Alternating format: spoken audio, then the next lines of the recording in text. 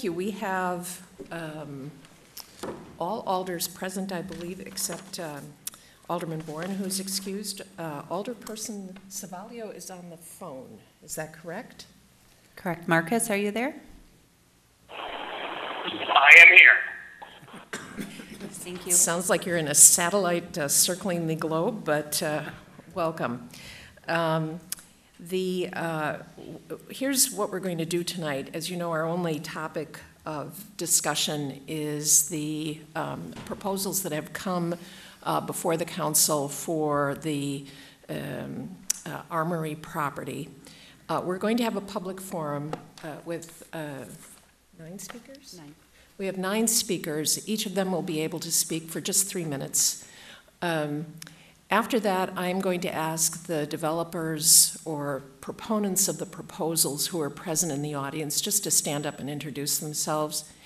Um, If there is no objection, I would like to offer them floor privileges in case any of the alders have questions about a specific proposal, and we would ask those folks to come up and, and just answer those questions for us. Sound okay? Yes. Perfect. All right, we can get going. Bill Thiel?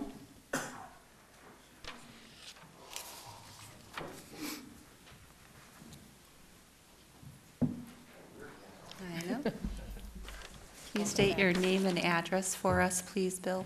Absolutely. Bill Thiel, um, 1703 North 37th Street in Sheboygan. Okay, you'll have three minutes. Thank you. Putting a timer up there for me? I Yeah, am. Not used to having a timer. There you go. Hey, guys, how y'all all doing again? Um, I come in before the committee of the whole. Um, I think, as you know, when I was an elder person, I was very passionate about the Armory, saving the Armory, and obviously I still am.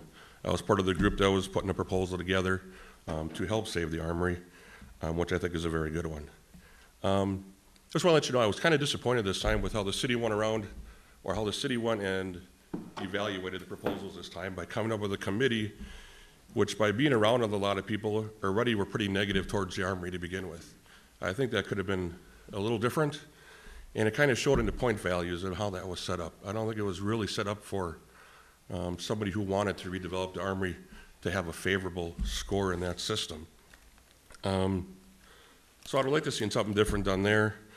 Obviously, not much we can do about that now, but I just wanted to point that out, my feelings on that. Um, Another thing I'd like to get an answer on is, at the historical committee uh, meeting, they put a 90-day hold on the project of demolition. And as far as I understood about the 90-day hold, is that was to give an opportunity for some type of development to come forward to preserve the armory.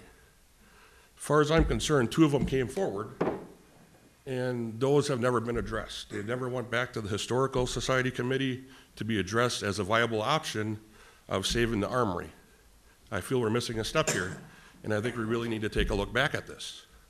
Um, And I think if it goes back to that area, they'll look at the two proposals that you have to save the Army that are viable, and I think those should get voted on before even this RFP process um, goes along. So hopefully we can get an answer to that later on today. Um, We did a lot of great things, I know, when I was an alderman. I remember the last day sitting over there, we uh, took a vote to save this great building here, City Hall. I think we got a couple great places in the city of Sheboygan, this being one, and the Armory, I believe, is another one, and it's definitely worth saving. We did the vote, we took care of that. I know if, I know you guys have seen pictures of how gorgeous this place is gonna look in a few years, and it's just amazing. And I think the two proposals for the Armory can do the same thing for that property down there, and have great things come back down to the Armory. To finish up, I'd like to just do a quote.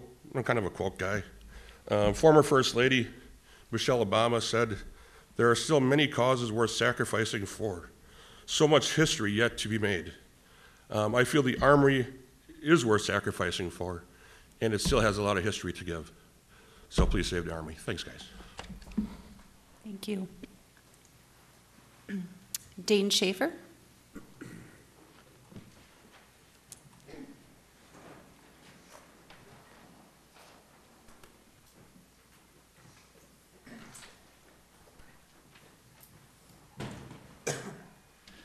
Dane Schaefer, 3728 South 13th Street in Sheboygan.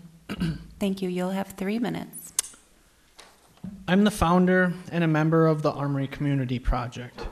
This started for me by offering some creative ideas for a long running point of contention in our community about the city's desire to take away what has been my property, our property, for decades and give it away with tax incentives to a private entity.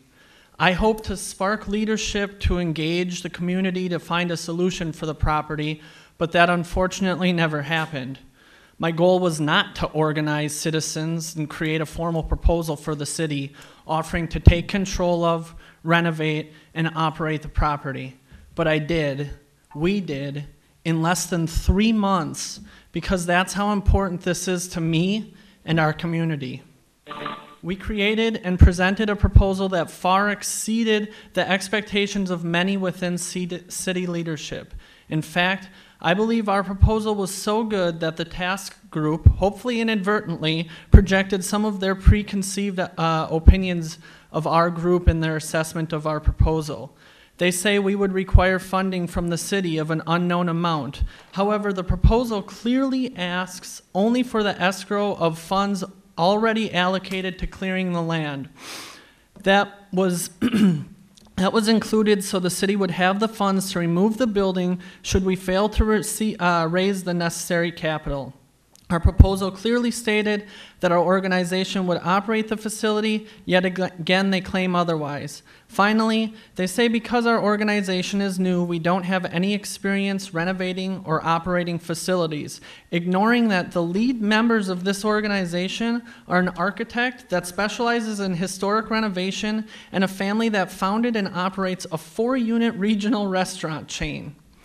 Do you feel comfortable making a decision on an issue this contentious based upon their recommendation when they got this much incorrect on just one of the proposals? See, I'm not here today to convince you that you need to select our proposal or that I have all the answers. I'm more than secure enough to admit that I, that I don't, and while I think our proposal is the best that was submitted, it's not perfect. Are you able to recognize when an issue is so important to the constituents you represent that it requires special attention? Are you willing to admit that taking away our property and giving it away while ignoring community voices is probably not the healthiest course of action for the city? At very least, I believe it is up to Common Council to independently review and consider every proposal in public meeting. Alternatively, you file the RFP proposals and either put the fate of the armory to referendum or engage the public and work together to find the most amicable sol- solution for what has been for many years and should remain our property. Thank you. Thank you. Marie Stefanson?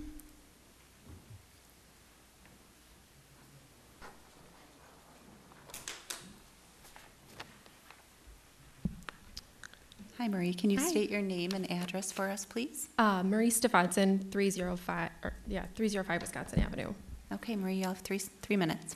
Okay. Good evening. My name is Marie Stefanson, and tonight I am speaking in my capacity as a fellow neighbor of the Armory and resident in the Ellis Historic District. Tonight, you will be urged by the Review Committee to accept a proposal from Scott Crawford, Inc. in regards to a 122 apartment re- apartment slash retail space. The Review Committee will tell you that this is the best proposal because there is significant housing demand in Sheboygan, and this will help bolster the housing availability to attract and retain new residents. I'd like to address three points tonight for your consideration voting against this plan in full support of repurposing the Armory. I myself can personally attest to the limited housing. When I moved to Sheboygan in March of 2017, there were limited apartments to rent and a select few homes for sale. However, there were limited choices. There were still choices. Since that time, the city has seen a number of housing complexes constructed and finished, including the Encore Apartments, Portsgate Phase 1, and now High Point, and all of the above are still accepting renters. The firm argument that there's no housing choices in Sheboygan is null. Sure, if we want to keep growing and progressing as an innovative city, no question, we will need more housing. But the situation is not so dire that we need to tear down historical buildings to accomplish this. The recommended proposal also includes first floor retail. If I'm not mistaken, there's currently retail space already available in the heart of Sheboygan with great incentives to move in, some that advertise a year of free rent. But where are the businesses filling these spaces? Between South Pier, downtown, and Riverfront Drive, there is an abundance of commercial space already available that remains vacant. I would be challenging any developer with a proposal that includes retail space by asking what they're going to do differently to attract businesses as well as workers before we have yet another commercial entity that remains empty. Kind of the point of this project, right? When looking at the recommended deal, Scott Crawford Inc. and the city are mutually benefiting in this situation, plus the some 122 residents that could potentially live there. However, this doesn't seem to speak to the strategic plan that has been implemented by the city, a strategic plan that you as a council approved. Number one on that list of improvements is quality of life. And the city's number one key strategy for doing this is, quote, refurbish, maintain, develop, and or expand public use places and spaces, end quote. I just don't see how one can argue that 122 apartments is worth losing the army when it doesn't, armory when it doesn't benefit the city as a whole. I asked, the I am I done? Sorry. Um, I asked the members of this committee to send apartment developers to other areas in the city, and they won't have to look far, as the lot just across the street from the army has conveniently been on the market for some time. As a resident, I can only hope that you take the voices of those who elected you into full consideration and vote on a plan that not only saves the armory, but repurposes it into something useful that will bring value to the city. I ask that you invest in your current residents and give them the quality of life they deserve while holding the city accountable to their strategic plan. That lake is our biggest asset. Let's not waste it. Give residents more than just condos and parks down by the lake. Make it a destination. Thankfully, there happens to be a local initiative amidst these, propo- amidst these proposals that's willing to do just that. Thank you very much for your time and consideration. Thank you. Mike Burnett?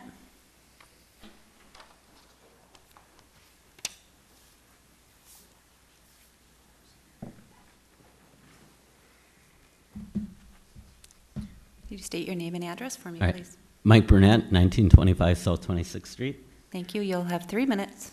All right, the Armory, my favorite topic. And it's like, last thing I want to see is apartments, but not my choice. And I like what I've heard from you guys so far, and I agree with Dane on one thing he said very much, that at this point, you now have a whole bunch of proposals. This is the first the city, the citizens, are learning what they are. We haven't even totally learned what they are. A few of the groups put out there pretty good. I mean, pretty much everything. A few of them put out pretty much everything. Some of them, we know they want apartments, this and that, and da da da. We have studies. This is based on studies. We need apartments, la la la la. I'm looking at stuff online, and I'm seeing in candidates things, somebody's talking about the armory, and this is for coming up council elections, and condos and this and that. You know, it's like, oh, people are saying, well, we have these condos, this and that, but well, these condos are full. So I'm looking up condos, and yeah, these condos are full, but 188 grand was the price on these condos when they were built. And I'm talking right now, I'm talking the Rice ones, but these numbers apply to most of the condo projects that went down there. You look right now on Zillow, we're getting $88,000 a year on those places. That's what they're assessed at. That's less than half of the value when they were built. You take that around town from Cross Creek to you name it, that is the story. You look online for rental apartments, you can find a pretty damn good place for around 750 bucks with utilities, not far from where this is going to be. This is Sheboygan. You go on the own Sheboygan County Economic Development Corporation site, and you look at where they're telling what we need, and they're telling about a very much smaller number than what we're building of apartments in the 600 to 850 dollar range. Not seeing a man, not at all. And then to make it even worse, we're, we're building such a great number of apartments based on this. The original survey that they did was at a retreat, mostly people from Kohler and Plym- working in, out in Kohler and Plymouth, around 100 and some people. They had about 18 people who said, oh, I would definitely love to live in, in downtown Sheboygan if you had apartments for six to 850 with all this cool stuff. And it's like, hey, great. And you look at it, you had like 18 out of 100. Nine of them already lived in downtown Sheboygan, which was, means nine if you had a way better deal than what we're ever offering. And to try to shorten it up a little, going forward on this, for all of our schemes, which is anything, it's not a bad word, it's just when you have an idea of making money, it's what it is. We tend to have these really high in the sky, everything's going to be worth a bazillion dollars 20 years from now. who gives a shit what it's worth now? I give. And it's like the armory, you go back on the costs and you look at it, everything you know or think you know about the armory is complete crap unless you were following. This war was fought several years ago, and we won it decisively with the Excuse me, Armory Mike. Foundation. Mike, your time's up. done. Thank you. I am done. Sally Carson?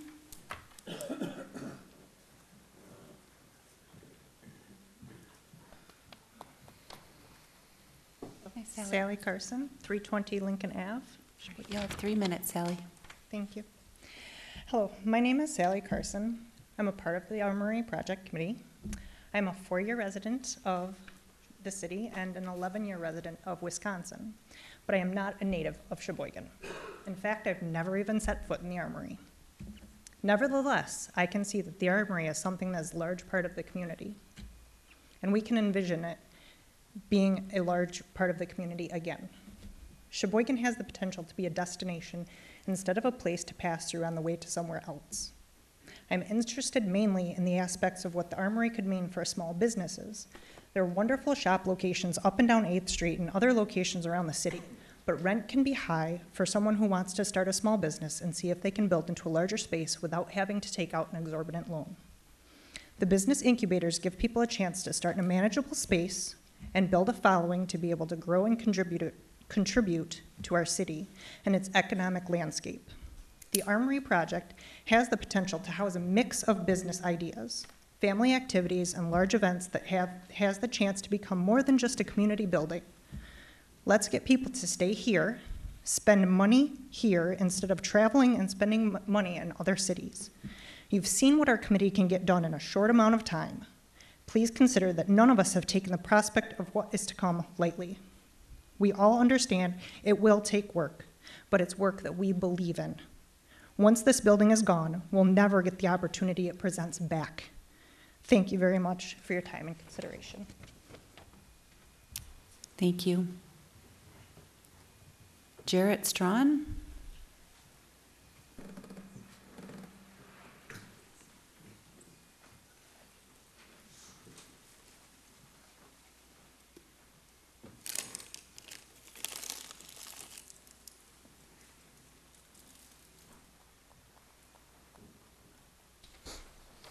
Hi. Thank you. Can you state your name and address for us, please? My name is Jarrett Strawn, and my address is 2203 North 6th Street here in the city. Thank you. You'll have three minutes. It's going to be fast three, isn't it, Meredith? I'm glad I was here for the other speakers. Many of the things that I had so carefully crafted into what would have been my three minutes this afternoon has been addressed in some measure. I'm a newcomer to Sheboygan. I've been here 23 years. I came here to be close to my in law family. My mother in law's family were the Kelpsels, my father in law's family were the Stillwells. I came here to be close to my in law family, which should explain something about how silly it can be for an older fellow who wants to raise children in a nice town. We moved here to be close to our in law family. You understand that? I love this town. I love this town. I came here from a place called Beloit. Any of you that read the New York Times regularly know that uh, the Hendricks family has turned that into an utter mecca for refurnishing, refurbishing, reconstruction, for renovation, for historical survival, if you will, for some important businesses. In our case, we have two buildings left in this town that might merit that kind of attention. One is the courthouse. And the other one, some people in this room would like to tear down. It might be convenient, sir, to take it down, but let me tell you, it'd be a very foolish error. I'm sorry, I'm not running for anything, and my livelihood does not depend on the people in this room caring one way or another about what I have to say. I'm a veteran. I'm 74 years old. I raised five people in this town with my wife. And that armory needs to be the anchor. and it can only be done with one of the proposals. Uh, I know that you're entertaining one from a company known as uh, Scott Carson. I understand they're actually the leading contenders.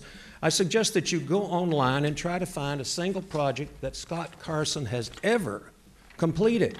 Take a look, and then suggest to me, as a taxpayer, that you want to blow 500,000 to destroy a good building, and then give them the rights to an acre of land. Uh-uh. Big mistake. Mr. Lewandowski, wake up. We need to have at least another six to 12 months to look at legitimate proposals. I suggest to you that Scott Carson's is not legitimate. Here's a legitimate proposal, and with this I quit. You see this? It actually was the most detailed of all the plans that the city received. Correct? Yes? And it may not be with us after Jared. tonight. Thank you very much. Thank you. Leslie Kohler?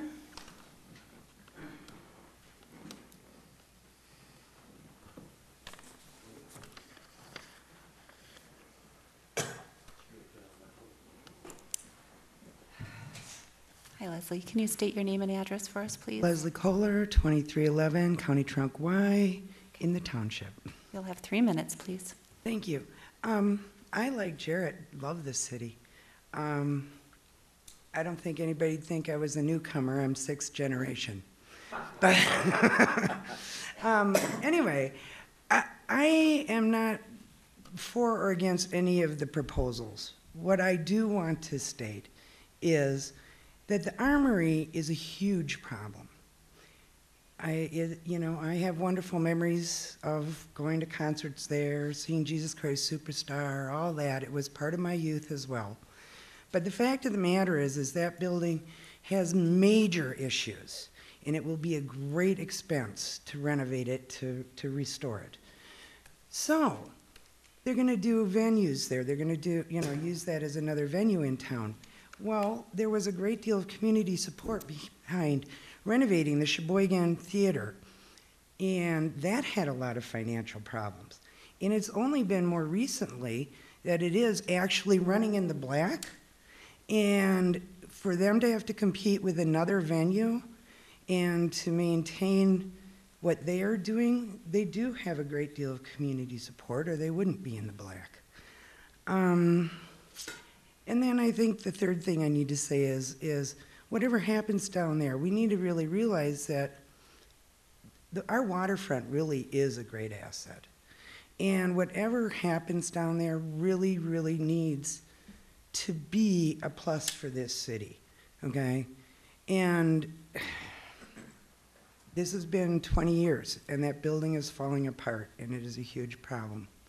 And, you know, we can love what our past is, but that, sometimes saving the past isn't the thing that makes sense. Thank you. Thank you. Jennifer Lurkey? I apologize if I got your name wrong.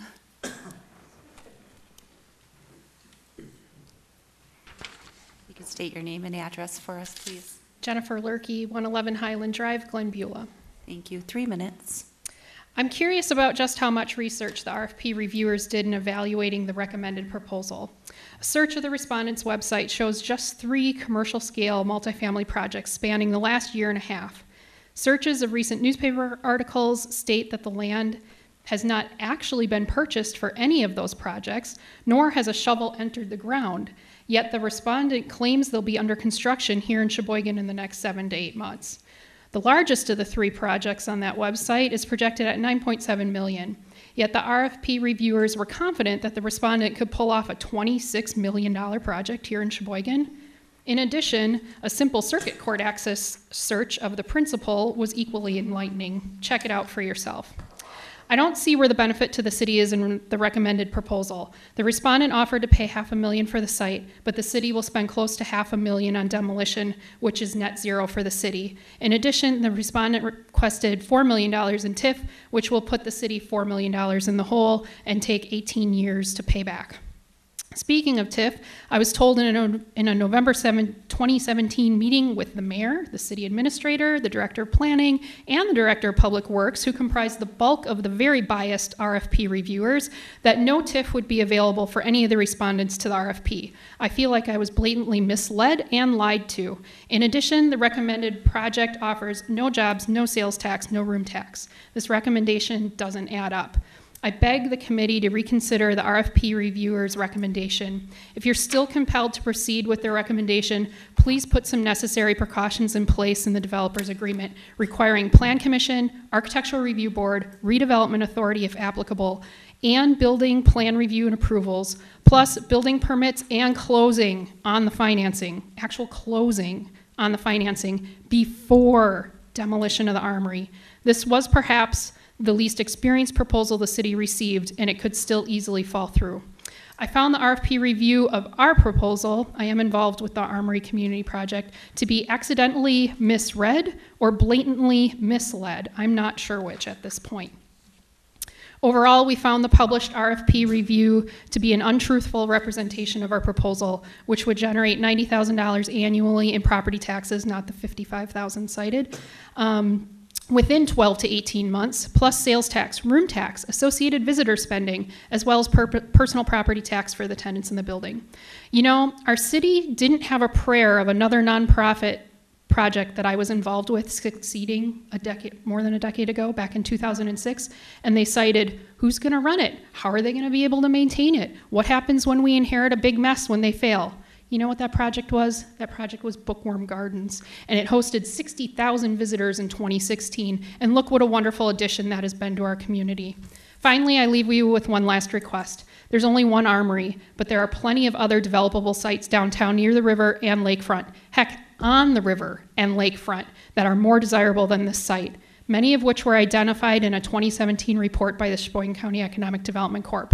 We have four multifamily Sorry, developers, including Gorman, um, and a boutique hotel developer that expressed an interest in our community. Why are we not going for the gold? Ma'am, your It's a time is up. And and negotiating a deal for all five developments instead of just one. Tracy, Right. oh, one more. One more, Sorry. all right. Tracy Katarabik?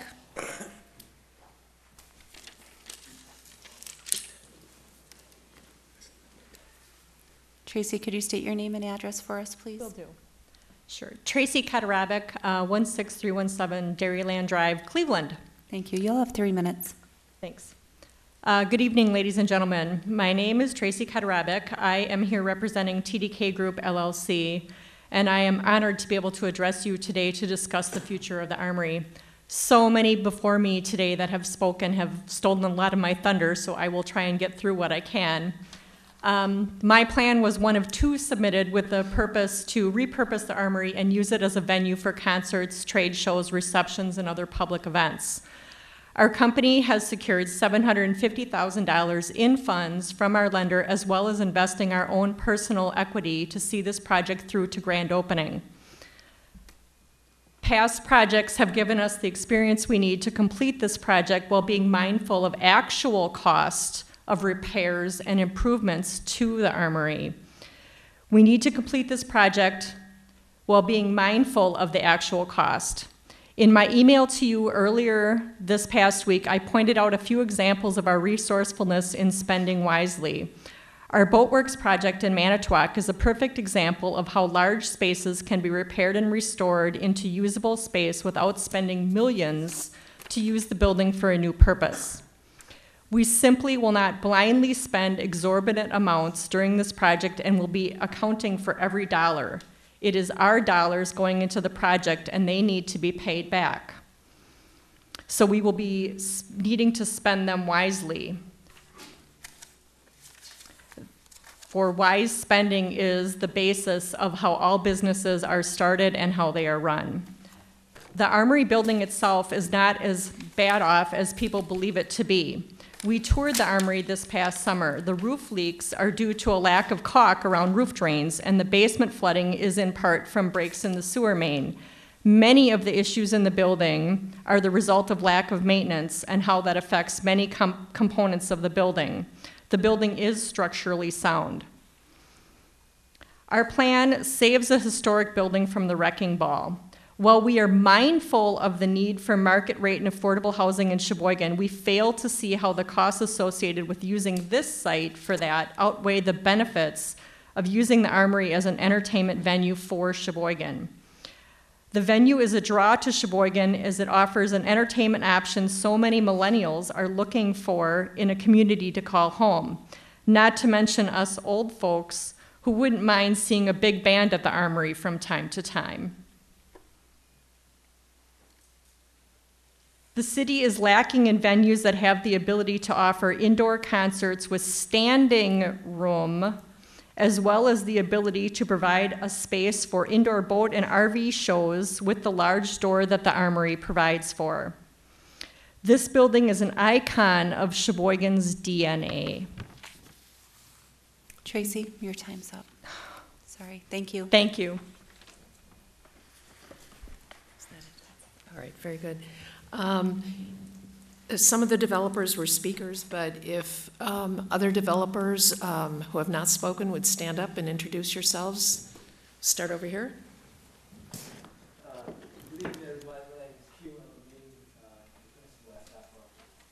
Thank you. Any other developers in the audience? Yes, Tracy. And we have Dane and uh, Jennifer. Anyone else? Okay, very good. Um, We'll get moving uh, then, and I would ask for an approval of the minutes of our October 9th, 2017 meeting. So move. Second. Any discussion? Hearing none, all in favor state aye. Aye. Any opposed? Aye. Oh, thank you, Marcus. Um, The, um, we're going to start our discussion on items 3.1 and 3.2, which will basically be discussed together. Um, I'd like to have um, uh, Bernie Romer and Roberta Filicky Peneski. um, Bernie is the purchasing agent for the city. Roberta is a citizen member of the Armory Review Task Group. If you want to come forward and, um, unfortunately, our PowerPoint is not quite up to speed, so you'll just have to uh, be very vibrant in your descriptions and so forth to, to help us along.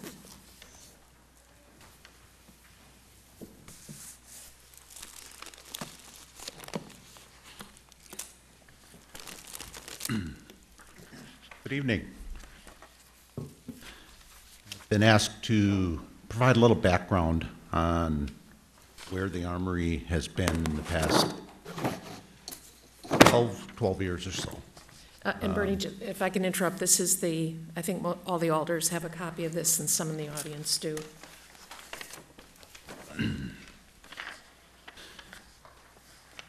The Armory closed to public events back in 2005.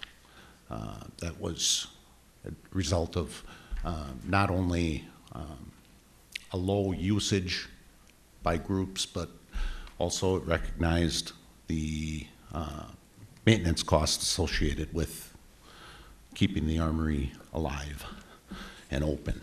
Uh, 2010, Spaceport came to the, the city and asked to occupy the space um, for the uh, Spaceport Museum.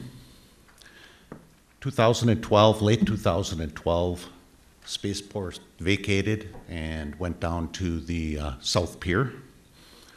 Um, that point in time, the city essentially winterized the armory, drained down the, the, the heating systems, drained down the water, shut off the boilers, and made it into kind of a cold storage type thing. It, it's quite costly to, uh, to heat even, even above freezing. Um, 2014, uh, we were directed to issue a request for proposals for the reuse or redevelopment of the armory as a building. Um, Part of that was a nationwide search for developers. Um, Over a thousand contacts were made. Two proposals were received. The Seas Group, Sailing Education Association of Sheboygan, uh, proposed to demolish the building and develop apartments and a corporate headquarters site. Uh, An Oshkosh developer proposed market rate housing for the entire site. Common Council in 2014 uh, directed that we move forward with the uh, Seas proposal. Uh, The Armory at that point in time was prepared for demolition. Uh, The all interior furnishings and fixtures were sold. Uh, Lead and, lead and asbestos testing was completed. Uh, At the Historic Preservation Commission enacted a 90-day hold at that time to seek out other interested parties to redevelop the building. We showed the property to two interested parties um, who ultimately uh, came to the conclusion that the cost was too much to rehabilitate the building. During that 90-day hold, the Seas Group also withdrew their application uh, because of a purchase of a property that came available on South 8th Street, just north of the 8th Street Bridge. And after going back to the Oshkosh developer, uh, who proposed apartments for the entire site, he expressed no interest in moving forward either. 2016, of course, the Milwaukee Bucks D-League proposal came to the forefront. And as we know, uh, they chose Oshkosh over Sheboygan. During the last couple of years, there's been little or no interest uh, expressed in the, in the building. And we have seen some additional uh, deterioration of, of the building. May of 17, I was directed to seek demolition bids and also issue a companion request for proposals for redevelopment of the site following demolition of the building. Uh, September 17, Common Council uh, awarded demolition bids to Vinton Construction in the amount of $355,573.78, which included abatement of asbestos and lead-based paint. And of course, in uh, November of 2017, the Historic Preservation Commission imposed a second 90-day hold on demolition. At this point, I'll turn it over to Ms. Roberta Filicky-Peneski.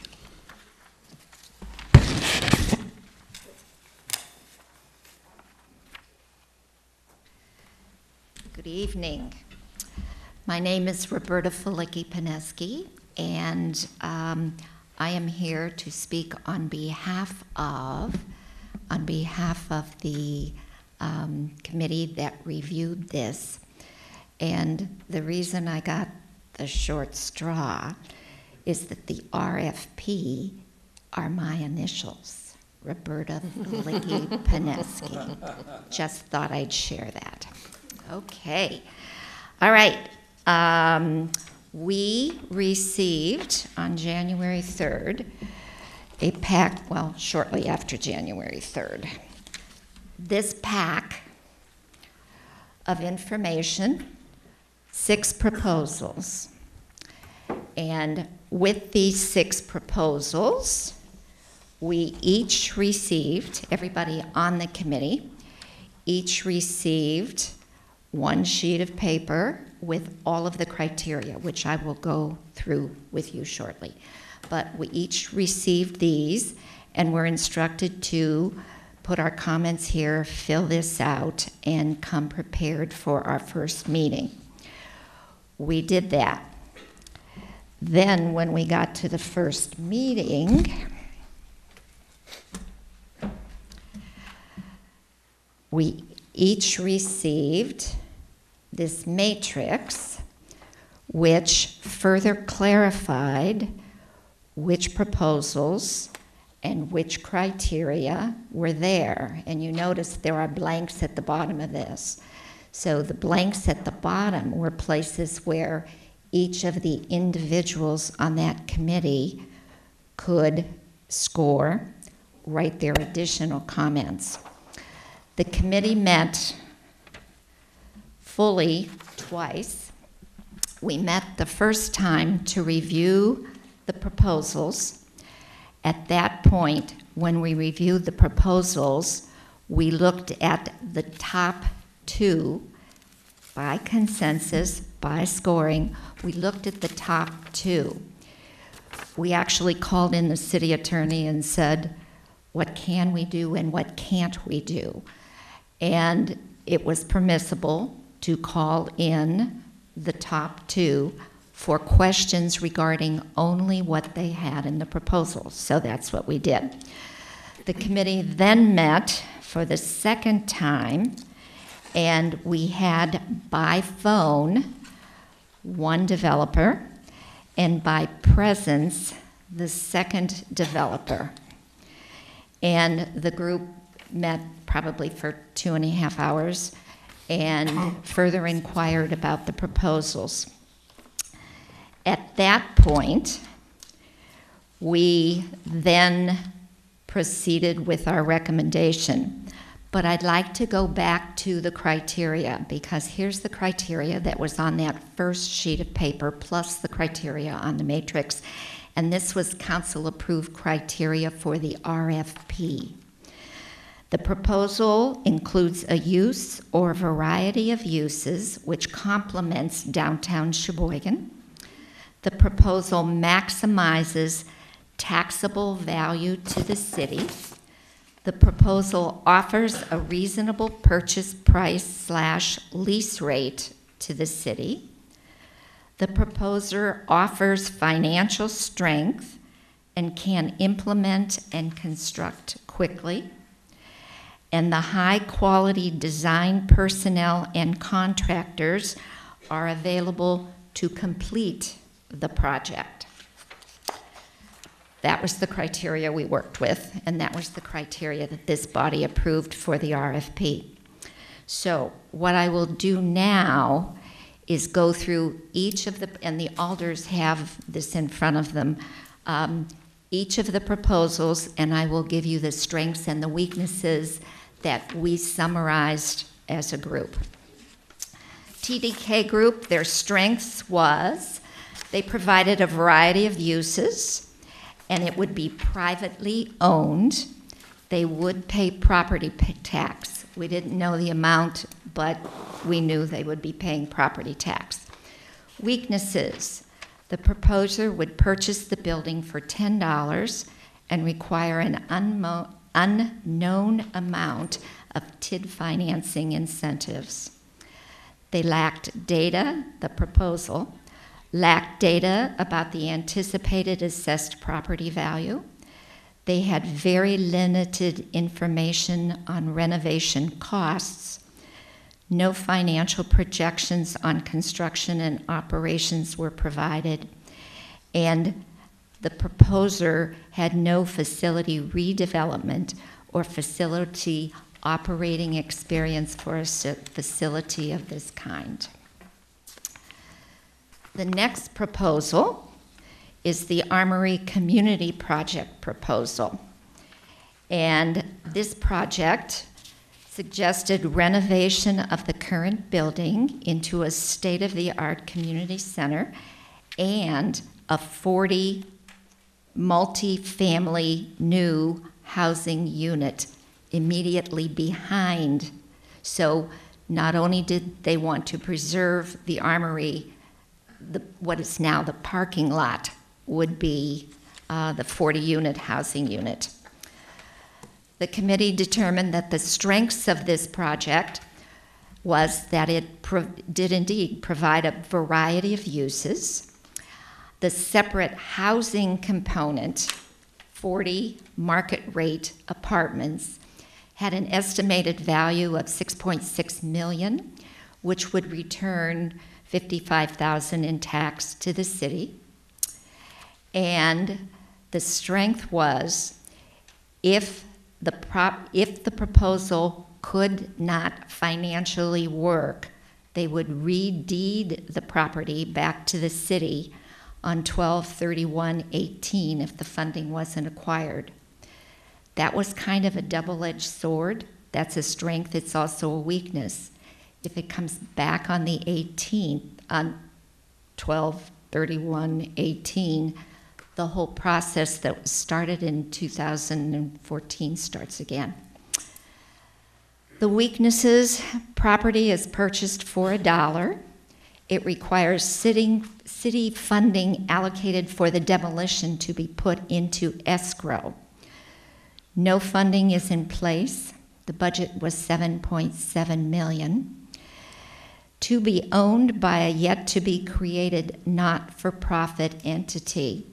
So there are there is a name, but there is not a legal entity that is proposing this, that is yet to be created. Since the not for profit has yet to be created, there was no facility redevelopment or facility, facility operating experience within that entity. And um, this was brought up in conversation. There is no evidence that there is market demand to be able to support the proposed type of entertainment use that this says. The next proposal, are you with me? the next proposal was True Vine Development, and this propos- proposal provided for 155 market rate, market rate apartments in two phases the strengths of this proposal, the estimated property assessed value of 35.5 million, and that was the highest. 35.5 million could return 300,000 to taxes to the city. And the proposal had a quality design. The weaknesses were that the proposer would purchase the property for a dollar and required incremental financing of 3.1 million. The second weakness was that the property would be developed in two phases. Phase 1 in 2019 and phase 2 in 2020. The weaknesses would delay the demolition of the armory to coincide with phase 2 which likely would require a reissuing of the contract for the demolition. And the review group was concerned with two phased, two phased approaches that the developer perhaps would not complete the second phase of the development. The next proposal was T-Wall Enterprises and this had a project of 198 units of market rate apartments. Strengths of this proposal included an estimated property assessed value of 31.8 million with 269,000 returning to the city in taxes. The proposed use does complement the downtown Sheboygan process. The weaknesses are that the purchase property, they would purchase the property for a dollar and would require all of the increment from the project, which would total $11 million. The project would be constructed in three phases, not one, not two, but three, and there were no renderings provided to determine the design of that project. The next one was Catellus Group. And when I got my pack of data, all of that, I immediately opened it and just looked at the pictures on the cover of each one. And this was a surprise to me because this projects for a hotel. Proposal provides for an $18.6 million, 125 room lakefront hotel and conference center. The strengths the project would be completed in one phase. The proposer would cover the cost of the parking structure which was included with the project. The pro forma included the cost of demolition, which was a savings to the city of $355,000.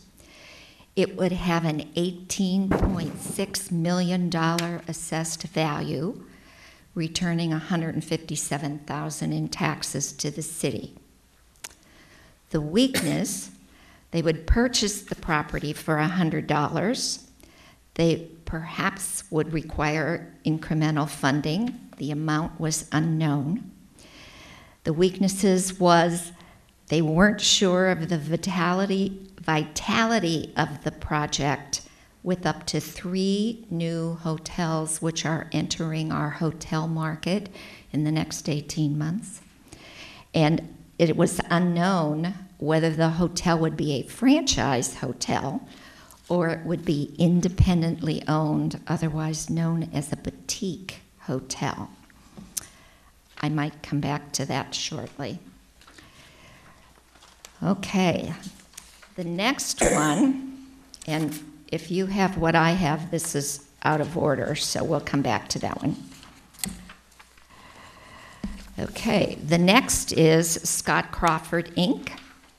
This proposal provides for 122 units of mixed use housing. Approximately 48 units of this is what we call affordable housing.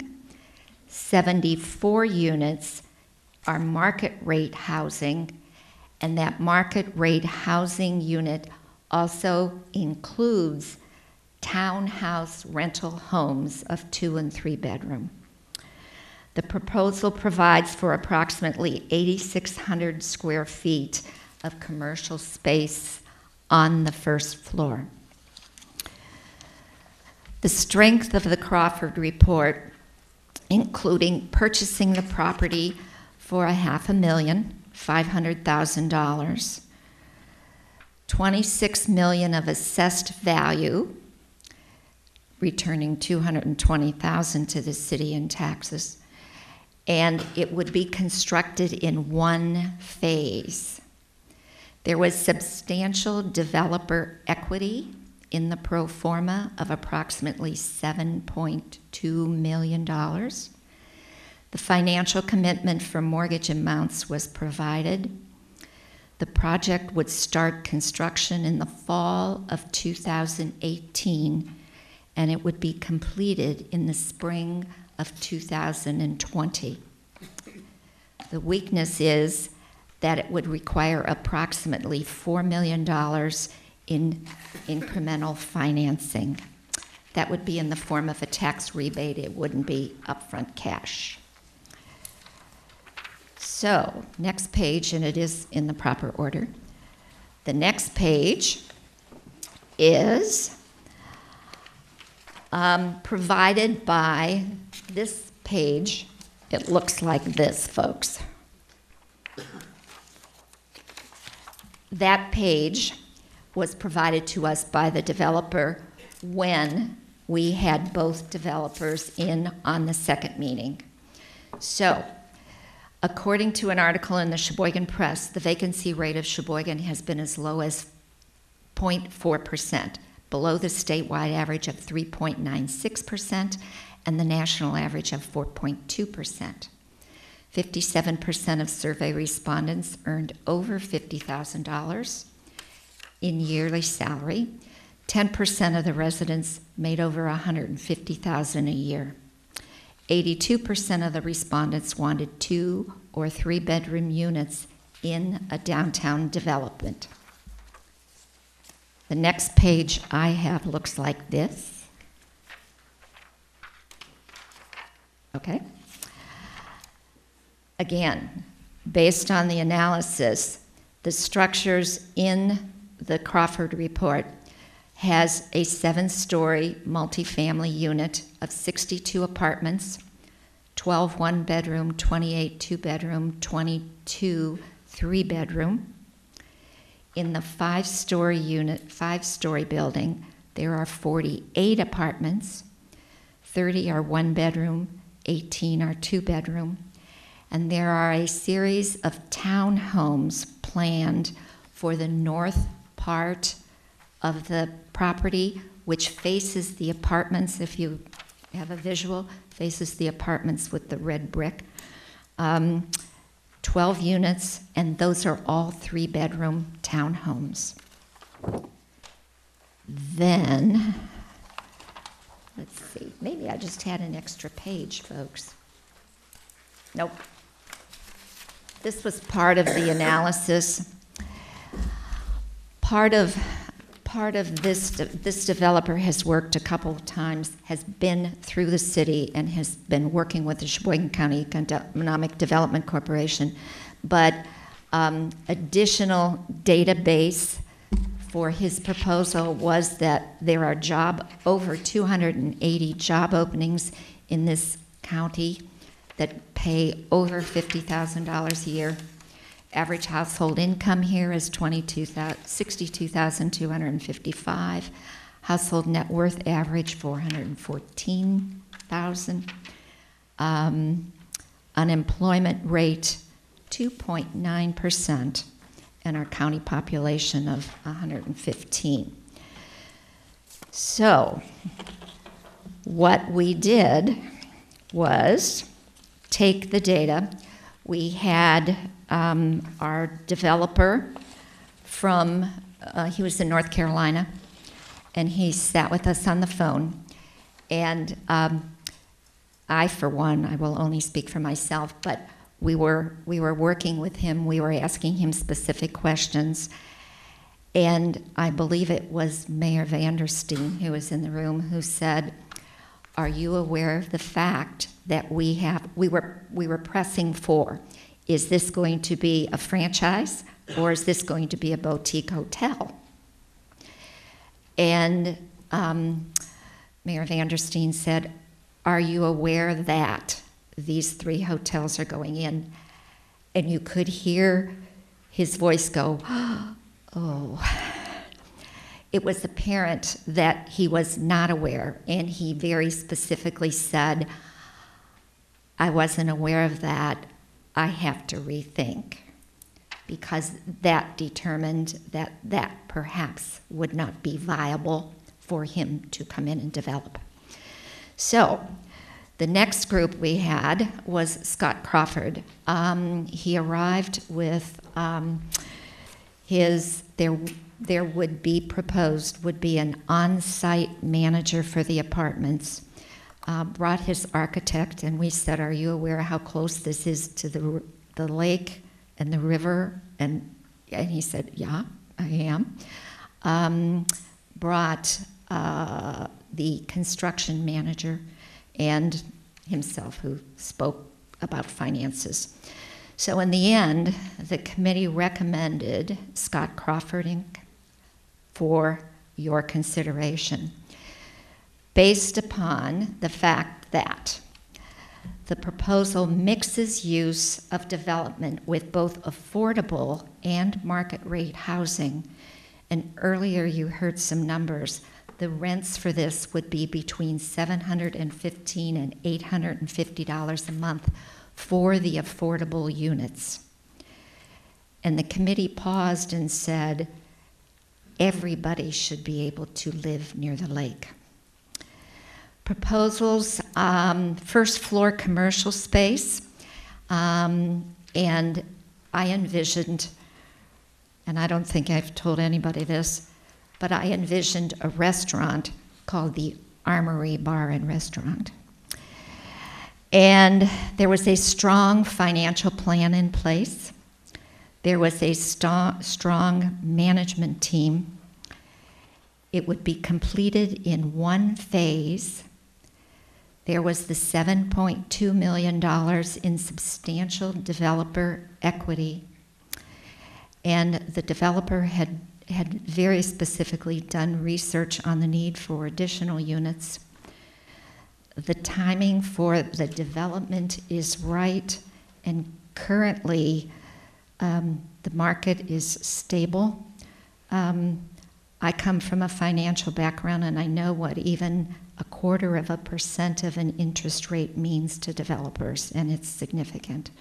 So, um, based upon all of those, all of those thoughts and observations, we have come to you with the recommendation that we be able to, um, you um, would empower the city to begin discussion and a development contract with Scott Crawford. Um, Before we start any discussion, pro or con, um, does anyone have questions for either Bernie or Bert? Alder Schneider. Yes, I was just curious, um, how did the scores end up? Because I see you had a scoring process. Do you know what those scores were for each of them? I, I don't have that. I don't know who does. Does anyone in the room have them? I have mine. Any other questions? Can, can, can we get them? They were not collected. The, the recommendation of the task force was unanimous of those participating to recommend Scott Crawford. Sir, sir, we're really not opening the floor at this point. Thank you. Are there any questions of Bert and Bernie? I feel like this is a show. I'm sorry, the Bert and Bernie show. Bert and Bernie show. Um, uh, Of, of uh, Bernie or Bert, uh, before we enter into discussion. Okay, thank you very much. Appreciate it. Likely Thank other you. questions will come up, so, so don't leave. Um, Is there any um, uh, discussion uh, on either 3.1 or 3.2? Alder Holshu? Yeah, just raise your hand, that'll work tonight. Thank you very much. I have some major concerns. Um, In 2014, the Sheboygan Economic Development Corporation did a study of all the living um, arrangements in the city of Sheboygan. At that time, they um, made, took a group of different apartments, called them, did two calls. One of the properties that I manage was involved in that. And I think when I'm talking about property management, I can speak with some authority, as I've done it for 35 years of my life. They, they did a study to see how many apartments were needed in Sheboygan, but they did this study in the middle of winter. Everybody's apartments are full in the middle of winter. I personally do not believe that we need more apartments above and beyond what we've just built. I think we're satisfying our area. What no one addresses, and I made the same statement when we went, when they came before us for each of these different housing departments, was retention. How do you plan on re- having retention of these people in these apartments? The city has to offer something. They have to offer entertainment, they have to offer something, great restaurants, great shopping. I can tell you, not a lot of people are seeing that in Sheboygan. And so if there's anything that has anything to do with apartments, I just don't, I just think that for some reason, they just keep piling these apartments that we need them so badly, and we just really don't. We have three brand-new projects that are going to adequately take care of our needs. You can, um, rental rate of twelve hundred dollars a month, you can get a two hundred and fifteen thousand dollar home for that amount. And that includes your taxes. The rate that was studied that did need, and I will clearly say we need more one-bedrooms, but we need it between four and six, maybe four and seven hundred dollars a month. That's what the market's looking for. We're inundated in two-bedroom apartments. We have, what is that? That's. We have a lack of three-bedroom apartments. I am not in favor and will not be voting in favor of anything that has anything to do with building more apartments. And I think that um, this study done in 2014 was slanted because it was done in winter, and I'm not the only property manager that said something to them about it. So that was done four years ago. And I just, I just do not believe we need another bunch of apartments. We have more Section 8, WHEDA, and tax credit properties than we do conventional. And that's an attraction to people in other states that like our system better than their own. So they're coming in dwells to live in our subsidized and voucher programs. I just don't think we need it. What we do need, if someone comes to Sheboygan and says, you know what, I sure would like to build a brand-new house for myself, there's no land. Now that we've annexed that land that's off of Stahl Road, we're gonna be able to afford them an opportunity to build houses. There's gonna be some um, subdivisions off of South 12th Street where people can build a home if they'd like to, where we've never had that opportunity. But you better look at the fact that if you're gonna build all these apartments, you better have something in the city to retain them here. Because most people, they think, oh, cutie, they're making these big salaries. They're not. It's like thirty-five thousand a year. So I don't know where they come up with these numbers. I- If this was all, why was a point system installated if no one can even tell us what the point system answers were? What was the point of doing a point system? And I think we should have had pros and cons for, did we get pros and cons for every single one of these? We had strengths and weaknesses. I would like to see the armory repurposed. So I won't be in voting in favor of anything that has to do with building yet more apartments. Alder Truster. I have gone through all the proposals, and I've got to tell you, they all seem to have quite a bit of merit. But I am not sitting in this chair right now because I think a proposal has merit. I'm sitting in this chair right now because I have been voted in by the people. And by golly, my phone hasn't stopped, and it's been a lot worse since the mayor was on the radio. The people of Sheboygan are passionate about their armory. They do not want the armory torn down, and they want that armory at any cost. They feel, and I'm just relaying the message, what people have been telling me is that the city of Sheboygan has taken so much away from them and saying that uh, we need this, the city needs to grow, the city, the city, the city. But what about the people that have lived here, that have supported this city, that lived here all their lives? There's an awful lot of them that have history, and they want their armory. We're not, the city of Sheboygan is willing to stick their hands in the pockets of the citizens of Sheboygan for $11 million to refurbish City Hall. But they're not willing to give the people who are paying that $11 million the armory that they want. They want that armory, and they're passionate about it.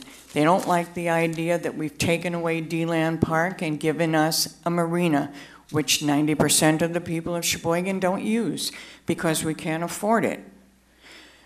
They don't like the idea that we're taking away the armory. There's no place to shop here in town. We go out of town to shop. We love walking down the street of Cedarburg and all the little shops. The city of Sheboygan has killed the city, the downtown of Sheboygan. We've got an, a, a library where an anchor store should be. Now we have an apartment building where another huge store could be. There's nothing to draw small shops downtown because nobody's downtown. Give us the armory and give us a place where we can feel that this is home and keep the people here and the people downtown. A while back, somebody in this council chamber said that the, the population of Sheboygan has stayed the same for the last 20 years.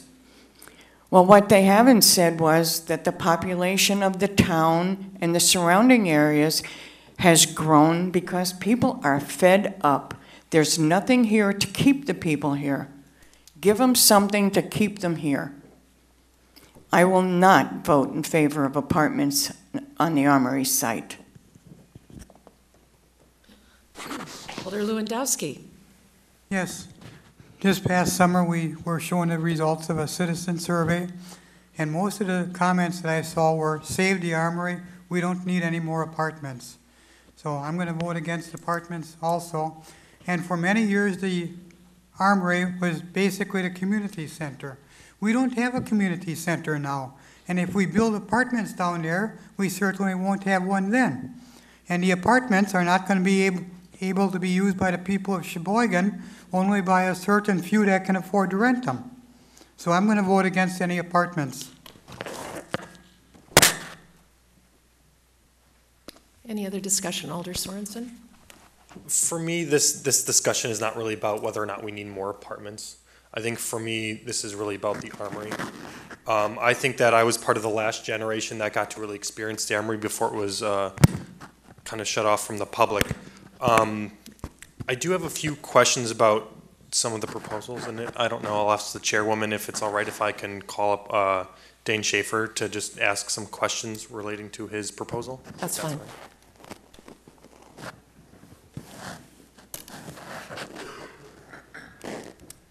And I just kind of want to set up why, I'm- why I'm asking some of these questions. So I think, being one of the newer members on the council, you know, I, I had to do a little research about, you know, the history of the armory in the city and what we wanted to do with it.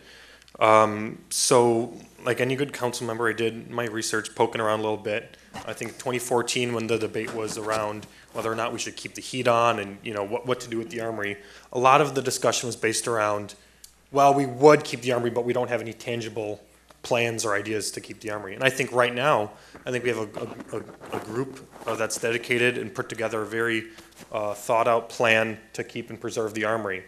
Um, now with, you know, that, there's still a lot of money um, and funding that has to be part of it as well.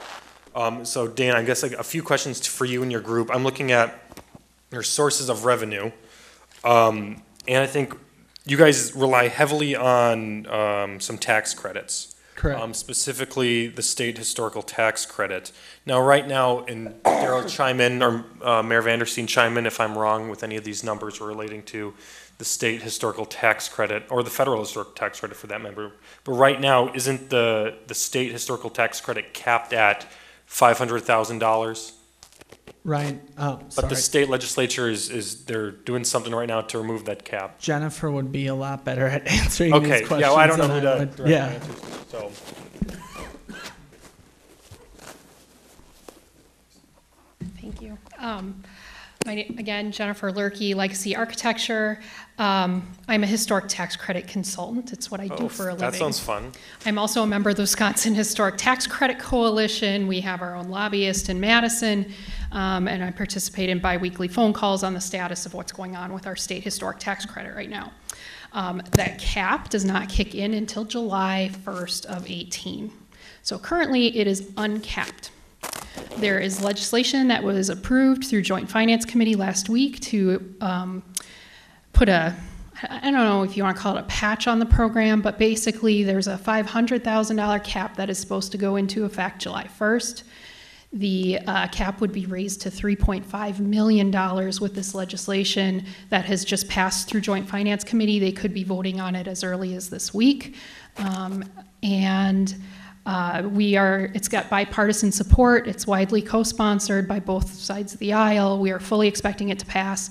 Uh, meetings with Governor Walker's chief of staff said he will not veto it. Um, and so we have every reason to believe that it's going to be passing soon. But the cap does not kick in till July 1st. And, okay. Uh, and another question regarding naming rights, stage naming rights. You guys have a lot of naming rights in here also for funding. Has there been any discussion or any potential sponsorships for naming rights? Anyone come forward and give suggestions? Um, I'm looking for just some, some sort of commitment from, uh, uh, on the outside groups that have put that forward. Definitely. This was a double-edged sword for us, and we had a lot of discussion um, after the proposal was submitted on January 3rd.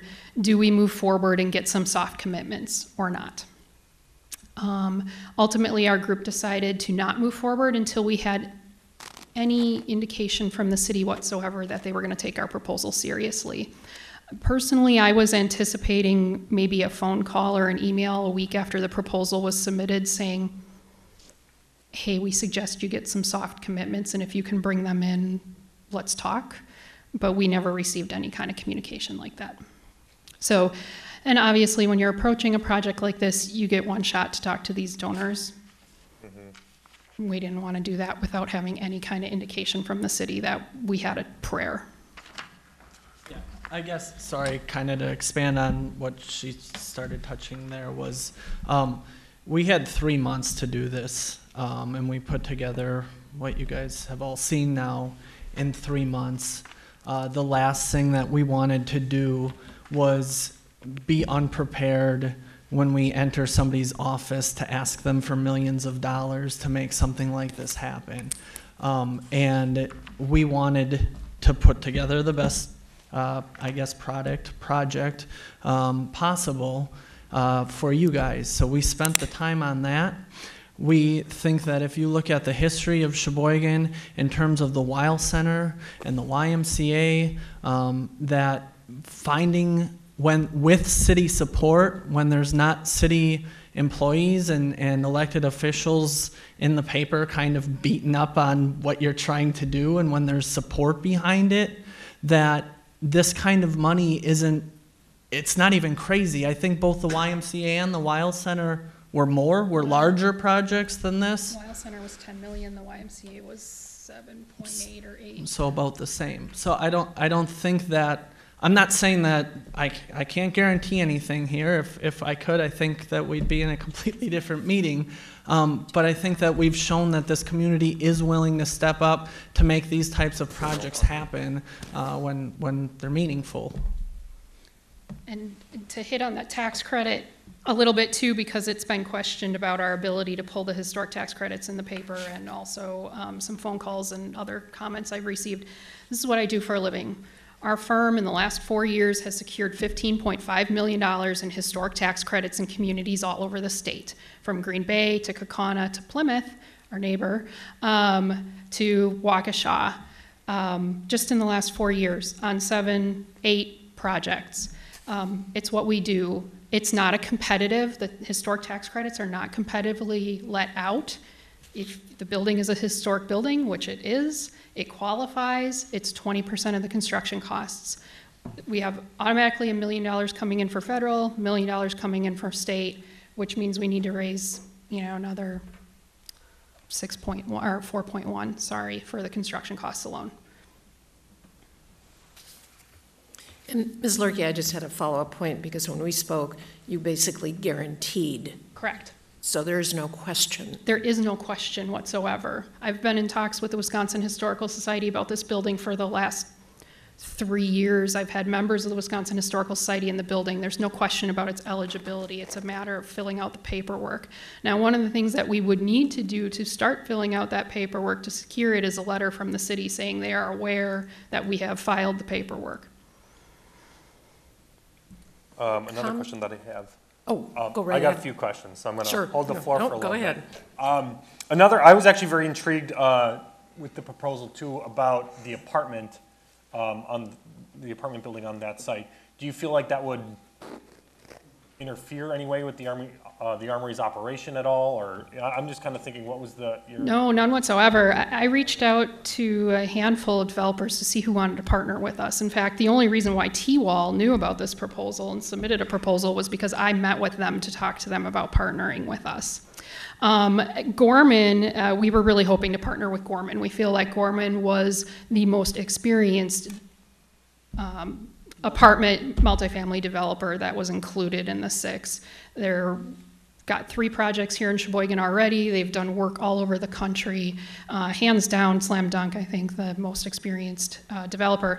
They were actually attracted to partnering with us because of the potential of the community center and the armory. That was actually a selling point for them. They wanted to be next door to that. They wanted to, um, some of the ideas we've been talking about, they, they liked that. They thought it would be an amenity to their tenants and it would actually make their tenants want to live next to that building. Do you feel like having that apartment building on that property, that interfere with parking at all, or? We did a full parking study that was in, um, I forget if we showed the entire parking study in the report or not. Um,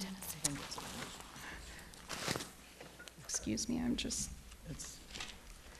Predicted oh yeah, it's under the predicted vulnerabilities on page five. So we looked at a two-block radius around the site. Um, we found there's 683 stalls off-site uh, that are either publicly owned um, by the county or by the city. Uh, most zoning regulations require three, or sorry, one parking space per three or per four visitors to a venue such as this, and that would more than cover uh, our expected peak uh, attendees at a venue like this. And we need to keep in mind, there's only ever been, we looked at that gravel parking lot There's about 80 pa- parking spaces there. There's only ever been, in the history of that building, 80 parking spaces on site, ever. And we were planning on putting 41 back um, onto the site. Uh, Also, the peak of the building in its history has been about 3,500 attendees. We're only looking at 2,500 attendees. Uh, kind of another follow-up question with, with apartments. So Gorman, I know they, they subsidize apartments at all. Would this be subsidized in any way? No, they wanted to do market rate for this. Oh, yeah. Uh, On the roo, or on the actual apartments, or are you saying like a tip? I mean, No, either so way, it's it's no, no, no, okay. Um, I, I guess I wanted to add That would kind only of drag the timeline out further. jumping back a little bit, um, as, as she said, I don't believe that it would um, greatly affect our ability to do what we want to do by adding an apartment. But I want, I, guess I want to point out that, in my opinion at least, it's not ideal. Um, it's not what I want. It's what I think um, it, it's a show of good faith that if, if your guys' um, goal and agenda with this property is to, to raise property taxes, let's do that. Let's work together. Let's find a solution together that, that we can all be happy with. That, that's why I think that that's really there. Again, at the end of the day, if, if you guys believe that we need to, you know, raise those funds, have that, uh, have some more, uh, rooms down there, great, that option is there. We're going to have that ability to do it, and I don't think that it will affect our, uh, ability to operate there. And it, in fact, I think that it may be, um, mutually beneficial in the sense that people that live there will have something right outside their door that attracts them, and, uh, you know, and we get more people coming in that, that live right there. So, um, uh, yeah, I, I guess, But you believe you could get the, the project done without the apartments, correct? I, n- um, Unrelated to one another. yeah, completely. it's, in terms of finances or whatever, it's unrelated. Again, this was just, because kind of like I said earlier in my three minutes, I want to work with the city. I want to come to a solution that makes the citizens happy and helps you guys reach your goals. And that's kind of what we're trying to do here was show that this isn't just a, well, we don't care what you think, keep this building by any means and screw all of your plans. It was, let's find a solution. Let's work on this. Let's talk about it. That's all the questions I had for you guys, but I do have more questions um, for uh, Dave Biebel. Dave, if you could come on down. Come on down. Um, My question is more for you, Dave. I think in in kind of setting up this is, I think one of my concerns is, uh, like uh, Roberta was talking about before, the market for something like this. Can you kind of give a background about um, the usage for the armory? Um, What, what would that look like? Have there been any requests since 2005 uh, for something like the the armory at all? Or any background Well- information would be helpful? Sure. Um, That's kind of an open, open-ended question, but. Yeah, and it's, I'm, I- I'll try to be as um, direct to that question as possible. I've been with the city and the Department of Public Works for 30 years. Uh, We managed the armory, we rented that armory as part of our office.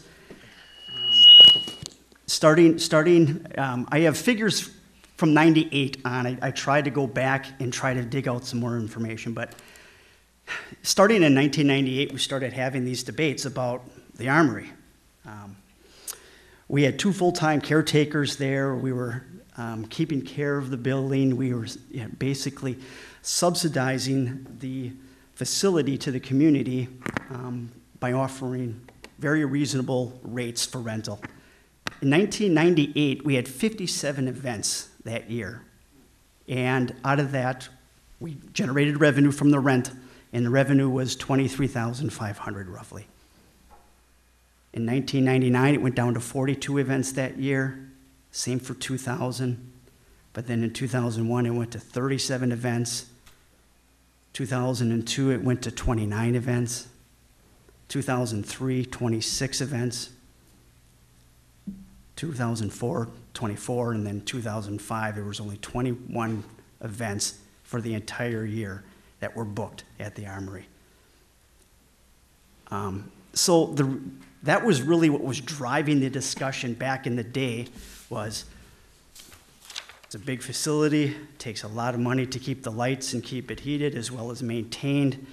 Um, during this time, other venues were starting to open. Blue Harbor was built and their convention center. The school district built the field houses, no longer was the, the high school basketball games. Other venues such as the Weill Center opened up for entertainment and, and theater. Um, the Armory, many of you recall, is, is basically a, a gymnasium with a stage at the end of it. And in fact, the upper areas of the balcony, when we would have stage events, you'd have a, a quarter of it couldn't be rented out for, for seats. Basically, you couldn't sell seats because you had no view of the stage from that end. So, I mean, it, it, it was back, you know, it was built, it served a great purpose.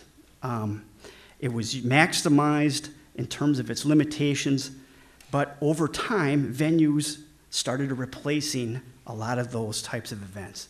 So that's, that's kind of the history and background of, in 2005, the Common Council said,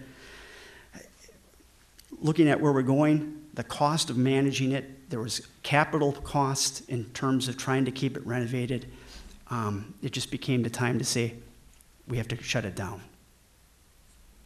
So that was kind of a real brief synopsis of how we, we got to this in 2005. Now, I, I did, I did recall we had a, a, conversation in 2005 about what should we do, and Spaceport was one of those um, venues. In fact, they had a plan. They were going to renovate the re- armory. In fact, they were going to add on and have extra classrooms, and it was a great plan. And it, um, and we all supported it back then. And unfortunately, um, things did not work out for them. Um, I think they found that the building was very difficult and very costly to operate out of, so forth, and that's why they moved, obviously, over to um, the old um, triple play over at, on the Blue Harbor site. Unfortunately, they're no longer in existence. That's all the questions I had, Dave. Okay. Thanks. While David is up here, does anybody, any other alders have questions for David? Okay. Um, Alder Sorenson, you're still on? Yes, I, I, am still just Okay. framing, framing how I'm going to say this next thing. So I think one thing that I'm really stuck on is I, I, I do like the Crawford plan. I really do. I think it's a phenomenal plan, well put together. But I don't know if if that on the site of the armory where it belongs. I think that there are a lot of other sites across the city where where something like that could go. I don't think that with the history of the armory, I don't know if that if that's where that if that's where that belongs. I, I know we talk about Sheboygan being a tourism town where we have to bring people to we, we got to have stuff to do. You know, when, when folks travel around the country, around the globe, you always go to historical places. You know, look at Europe, for example. They have buildings that are, you know, 500 years old, churches that have been around for centuries. You know, when you go there, that's what you visit. You have some historical context to it. And I think that, you know, if you look in Sheboygan County, where are historic buildings? You know, that has been mentioned a few times before. You know, it's the armory, the cornerstone, I believe, was 1941 is when that was laid. You know, where's buildings older than that? I don't, you know, I'm sure there's some out there, but there's not, not a lot where you can walk through someone's house that was built in 1912 at all. Um, you know, I, I really think that this is a decision that, that needs to be really left up to the community. And I think that, you know, in this time, the Armory has really brought forward a lot of the community together. You know, right now we live in a really divisive time, you know, across the country. And I think it'd be wonderful if, you know, Sheboygan had a place that could really bring the community together. So I really think this, this should be um, a community decision, not just necessarily 16 alders in a committee of the whole meeting. So I'm going to make a motion. Um, I move that this get referred to the Finance Committee for discussion uh, regarding referendum and wording for either the April 3rd election or the November election to whether or not we should uh, keep the Armory building. Um, I want this kind of open-ended.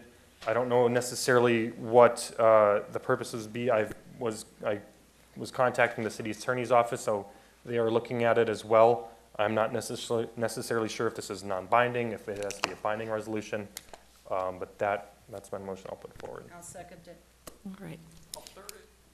Um, Just to be clear, the content of the referendum would provide for tax dollars to renovate the Armory? Is that your idea? Not necessarily tax, I, this is why I want the community to make the decision, more discussion with the city's attorney office. I think that's what the finance committee has to determine. For example, uh, the school district will have a referendum, but it's for a specific capital project. And so, is that the direction that you are, you're thinking of? Or is it a referendum to award the, the, you know, make the decision on the bid to a, to a, another entity? Or, I, I'm just, I think the referendum idea is I- very And I'm not interesting, quite sure. I, I, me personally, I wouldn't want to put taxpayer dollars to this project. I think that could be spent ideally other places, but I think that there should be a price tag for the armory that should, the research should be done by the finance committee. And then the finance committee could make, should make a recommendation depending on the wording for the referendum. Okay, but the idea with the referendum would be, in There's- fact, that the taxpayers would be willing to put Willing to, forth yeah. that extra money? Mhm. Okay. All right. Is that pretty clear to everybody? I'm just. Attorney Dam, Attorney, Alder Damro, I- yeah, I mean, help put it together. could you use your microphone so everyone can hear you? How's that? Um, help them put it together. He- I mean, we're all older people. We're not, we don't do this for a living. You know, you have professional people here that are donating their time to put this together and to try to make this happen. And, well, while I'm talking, because it doesn't happen very often until I get this way. Um, I just got a few things I wrote down, and it, can I talk if it doesn't have to do with the referendum? Oh, well, let's keep our discussion centered on the motion that's before us, All which right. is to refer this matter to Finance and Okay, Personnel. Yeah, to- but I mean, as far as having him pick how he wants to do it, I think we all need help putting that referendum together. And, you know, Okay. so, I mean, we have the people to do it. We have studies for everything else, so. Alder Sorenson? I, I just, just for clarity for my motion, I think that it's important, you know, right now, we, we kind of, we've been bouncing around back and forth, you know, a few years of whether or not we should keep the armory. I think we need to have a final decision made by the community, you know, whether there's a go, no-go on demolition. I think that's the nature of what it, what it should be, but. Alder Hoshu? I'm wondering if, instead of referring it to finance, that this just get um, referred to the city attorney to draft up whatever needs to be drafted up, draft it up so it can go on the ballot, so the citizens of Sheboygan can say, yes, keep the armory, or no, do not. In order to put, for the Why would vote council to place a referendum on the ballot, the council has to vote. And we would typically do that through a committee referral. So I think the city attorney, in fact, would come to Finance and Personnel with, with its, uh, that with the its right place? recommendation. Is finance the right place It it deals should with then? money, so. I think I so. don't know where it would go. I I'm think not so. Up on all that. And then we'd probably bring it back to, to Committee of the Whole. Alder Damro? Um, we didn't answer, um, Mr. Thiel's question either when he was speaking, if it's supposed to go back to the historic committee, and he's here, so can we ask him? Do you- As far as, as far as what's supposed to go on, as far as it's supposed to go back, as far as from the 90 days, what, what Bill mentioned? We'll let Mr. Hoffman. Uh, the answer is no. It shouldn't go back to, I'm confused. No, It should not go back to historic at all? that's correct. It should not. Why? Why would it? The, the, the role of Historic Preservation Commission is to review uh, the historic uh, purpose of, of a structure and whether it's viable. Uh, They recommended that uh, up to 90 days, I think it was, be allowed for a entity, a developer to come forward with a viable plan. But that was, but the intent is for that plan, is not for the intent of that plan to go back to Historic Preservation Commission, simply that the direction be given to the city to allow that window of time. And then it's up to the common council through your committee process, not Historic Preservation Commission. All right. Alder Bellinger? Uh, thank you. I've got a question for, for Meredith. Can it get during the time frame, if it goes to finance committee, comes back to the council, can it get on the April ballot or not? Is that feasible to do? I, I think that's a legal question. I, I saw Attorney Cameron. John- John's here too, which would be a county ballot, and he said no. Well, it'd be a city issue, right? Yeah, but they make the ballots through the, yeah. Okay. Council approval, okay. So it could get on April. Is Thomas here? No, okay. Um, So in any event, we think that perhaps it would not get on the April ballot, and that might be quite fast to have this decision, because we're, I, I think we're going to have to really think through what this referendum says and asks and how it gets structured. Um, But, uh, but I think that is probably the time frame, John. Okay, thank you. And, and that's helpful. That's kind of what I figured. So, um, I, I guess with all the information that was here tonight, um, I requested originally to get a copy of, um, the proposals when, uh, they were submitted, and I asked the, the city attorney if they were public documents. He said yes.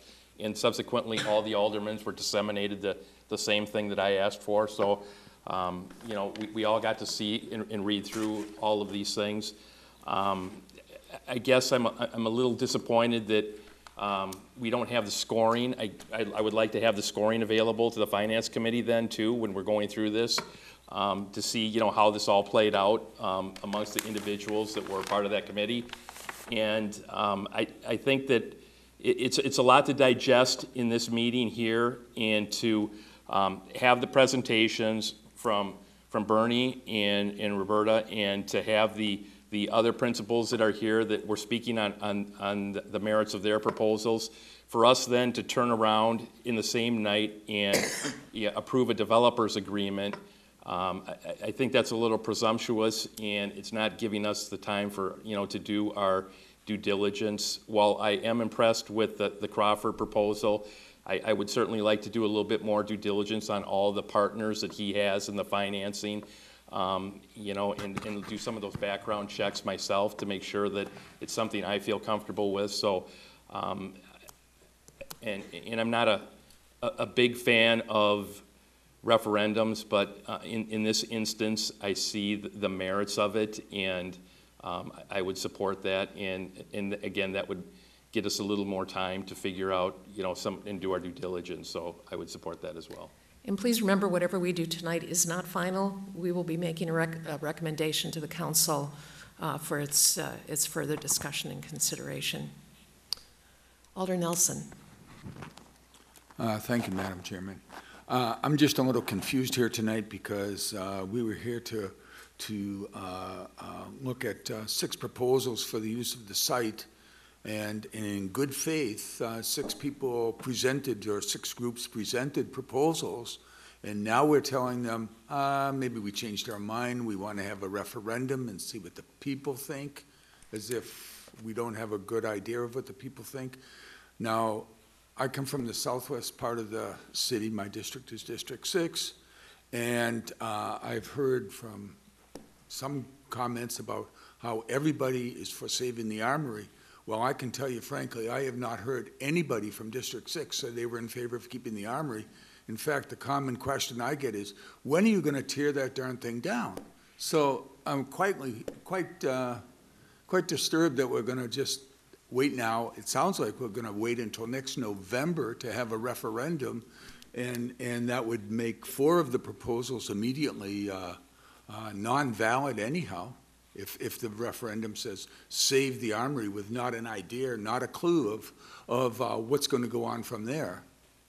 And just a clarification, what we'll be voting on is a request that the city attorney explore the referendum possibility and share it with finance and personnel, which then will make a decision in terms of referring it to the council. So the fact that we would vote yes tonight on Alder Sorenson's proposal does not mean that we're going to have a referendum in November. Right, I I mean, understand. we might, but. I that- understand. that. Okay, all right. But it doesn't mean we won't either. Right. So, so, and I just want to make a couple of other, I want to clarify a couple of other things. As uh, most people know, Uh, The biggest draw in downtown Sheboygan is the public library. It draws over 100 people an hour, over 100 people an hour to uh, visit the facilities. I mention this because I'm on the, uh, the, uh, the Board of Trustees at the library, so I, I happen to have those, that information available to me. Uh, So I just take it as a personal, uh, it- I just take it that the library would be better served to be torn down and put a, a department store there. I think that is, uh, I don't know what kind of thinking that is, to be honest with you. I'm, I'm not going What I to debate the meant, point. what I meant when I made that statement, Alder Truster?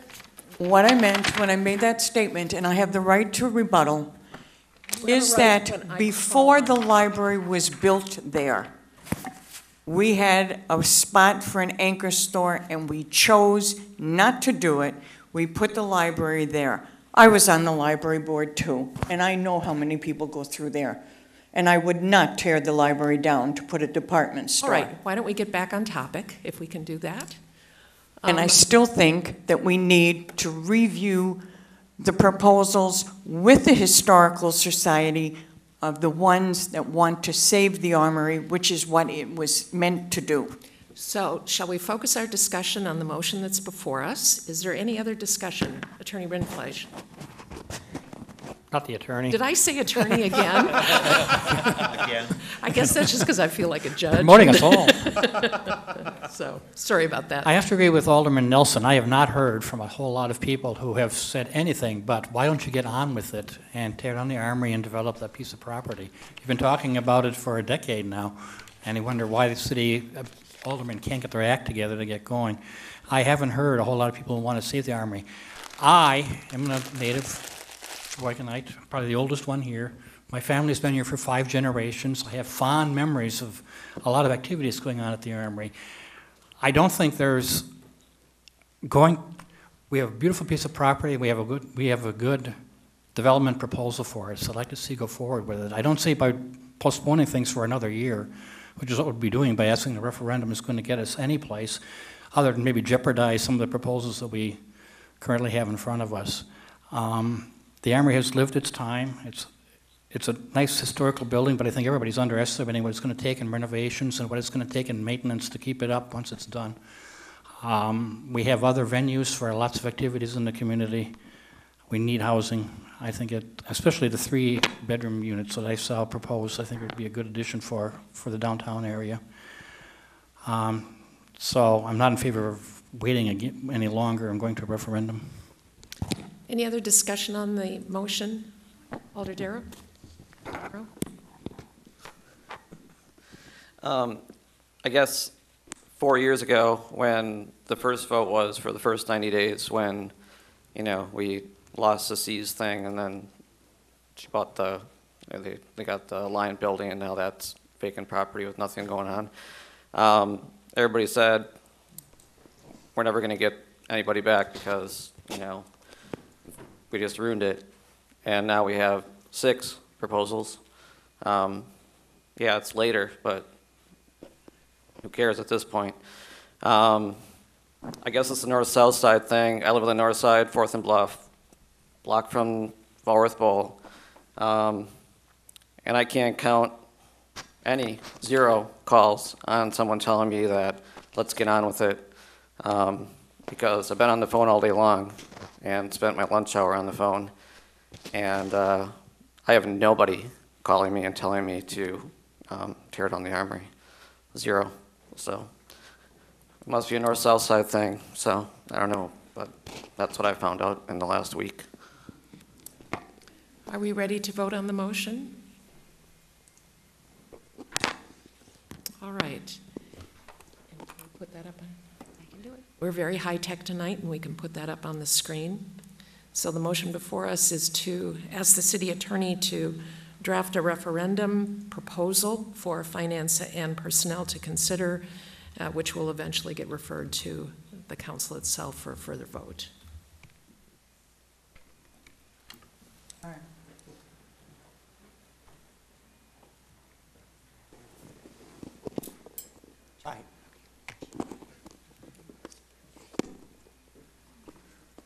Did you get Marcus's? Yes. Okay.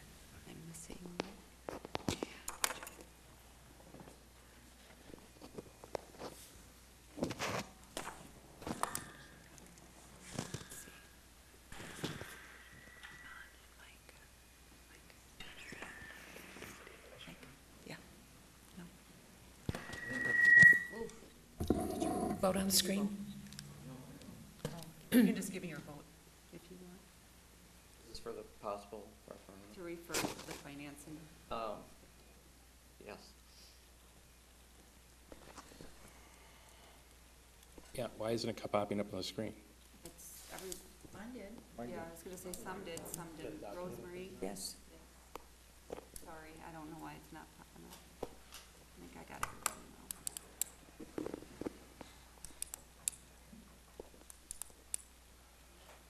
11 ayes, four noes.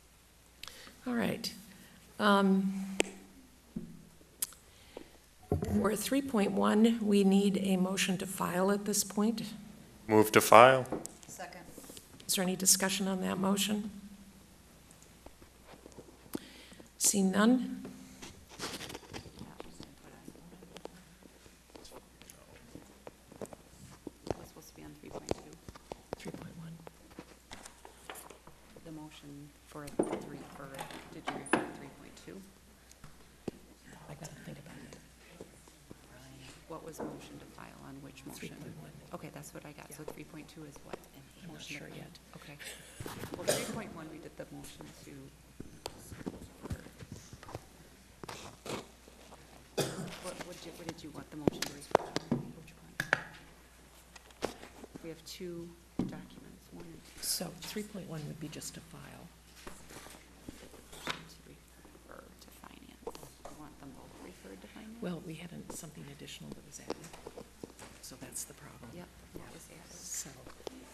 so the, the motion of referendum. So that was three point two. Yeah, oh, sorry. I thought you were.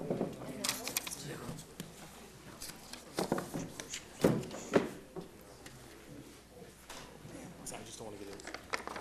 As 3.1 is just a motion to file, I'm just going to take a voice vote. All in favor of filing, state aye. Aye. Any opposed? Chair votes, uh, chair votes aye. Now, 3.2 is interesting, and I wish we had our lawyer here. Um, I am going to determine that the referendum motion um, essentially overrides 3.2. And if we could have a motion to hold 3.2, I think from a parliamentary and open record, open meetings perspective, that's probably the most sensible thing to do. Second. All right. Does that make sense? Susie moved. Sorry. Who seconded? I have a question. Yes. What exactly, so we hold it, what are we holding it for? Well, we may or may not decide on a referendum. We- And then do we go back and revisit, or is this then? I think so. I mean, sooner or later, we have to make a decision. Okay, but we'll still have the option of saving the armory as well as this option at a later date if the referendum is not. Right, there's been no decision made about the, who, who is awarded the contract or the project. All right. So we have a motion to hold 3.2. All in favor, state aye. Aye. Aye. Any opposed? Chair votes aye. Uh, Motion passes. Motion to adjourn? No, one second. Oh, I I'm need- sorry. We need to revote on the, um, eleven to four. and who voted, Because that got wiped out Oh, when we did that. So, so unfortunately, the vote has disappeared. for the Uh, first to the refer to finance, so. So we're just I going to, can't do that on that was an 11-4 vote, but we don't know who is who. I have the floor. Okay, that's why we just need to do a voice vote, so I can mark you down who voted yes All and right, who voted if no. you, if you, if you voted in favor, please raise your hand. Of which? What, for which No. one? For the all right. refer to finance, for, The referendum question. Okay. The it computer was- record disappeared. Okay, bidders voted nay. Well, and- no, no, I'm, I'm just going to ask. So if you voted voted aye, would you please raise your hand? thank you. Okay, got it, thank you. And if you voted nay, would you please raise your hand? So that's Got it. Ross, Rindfleisch, Yep, got it. Wolf, and, Perfect, thank you. all right. And the motion to adjourn. So moved. Second. All those in favor? Aye. Thank you, we are adjourned. Música